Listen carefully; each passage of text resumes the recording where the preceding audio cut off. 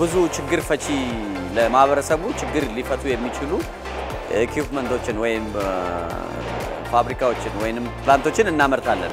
ከ equipment ኦች ውስጥ አንዳንዶቹን ብናይ ለምሳሌ የከተማ ግብርና ወይ ግብርና የእንስሳት መኖ ያስፈልገዋል። ያ የእንስሳት መኖ በዋጋው 80 ከ80 percent በላይ ወጪው መኖ ነው። ስለዚህ መኖን ደግሞ በከፍተኛ ደረጃ እንስሳቶች ስለሚጠቀሙ እነሱም ሊሰራ የሚችል የጉልበትና የጊዜ እና ቅልጥፍናን እና quality ሊጠብቅ የሚችል ማሽነሪዎች ማምረት ነው። ለምሳሌ ይሄኛው ዴሬት dry pellet እንለዋለን። ጎመኑን፣ በቆሎውን፣ ምኑን ምኑን በምትፈልገው ration formulation እዚሁ ስትከት እንደዚህ አይነት pellet የሆነ አርጎ ያወጣልሃል ማለት ነው። ስለዚህ ይህንን ፔሌቲክ እንትን ሰርተህ ለከብቶች በምሰጥበት ጊዜ ከብቶች በቀጥታ ሁሉም ingredient ያለውን ነገር በአንድ ላይ ወስደው productive ይሆናሉ ማለት ነው።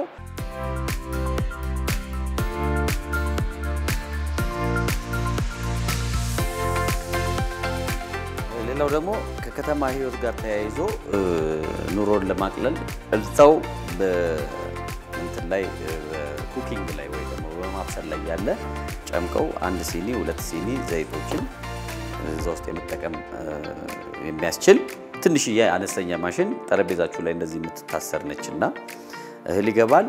እዚች ጋ ኩራዝ የአልኮል ኩራዝ አለው። ስለዚህ አንድ ዘይትን ለማጣራት ሁለት አይነት ዘዴ አለ። የኬሚካል ዘዴ አለ፣ physical ዘዴ አለ። physical ዘዴው ሙቀት መጠቀም ስለሆነ ወዲያው ወዲያው የምናመርታቸውን ዘይቶች በ physical ወይ እንትን እያደረግን እንጠቀማለን ማለት ነው።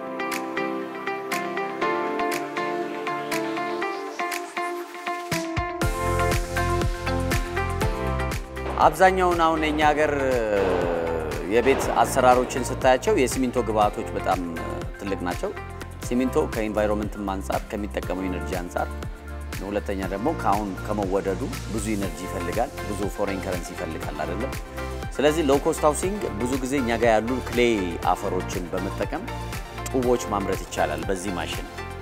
በዚህ ማሽን የሚመረቱ ጡቦችን መጨረሻ ላይ አድርቀህና ጠብሰህ መሬቱን ጡብ፣ ግድግዳውን ጡብ፣ ጣራውን ጡብ፣ አልጋህን ጡብ፣ kitchen ህን ጡብ በማድረግ low cost house ወይም ደግሞ ርካሽ የሆነ ቤት እና ዘመናዊ የአኗኗርን ዘይቤ ለማስተላለፍ የምንረዳበት የምንጠቀምበት መሳሪያ ነው እና ይሄ እቺ ማሽን ትንሽ ነች፣ ጡብ ነው የሚያመርተው።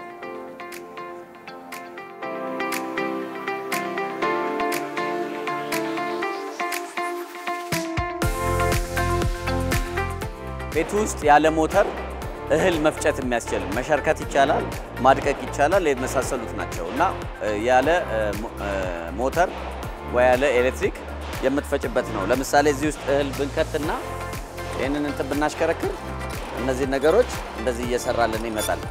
በጣም ለመሰለቅ የምትፈልግ ከሆነ ይሄኛውን እያጠበቀው ታመጣለህ።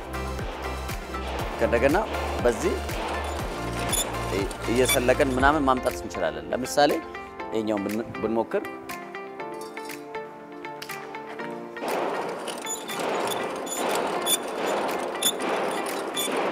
ስለዚህ ይሄ ምን ያደርጋል? ጉልበት፣ ጊዜን የመሳሰሉትን ስለሚጠብቅ ስፔሻሊ እናቶች ቤት ውስጥ በወፍጮ ሳይሆን ደግሞ ኤሌክትሪክ በማይኖርበት ጊዜና የመሳሰሉት ነገሮች በጣም quick የሆነ የ grinding solution ሲፈልጉ ይህንን ይጠቀማሉ ማለት ነው። እነዚህን ቴክኖሎጂዎች ይህን የህብረተሰቡን ችግር ቀርፋሉ በሚል እሳቤ ይህን አምጥተናል።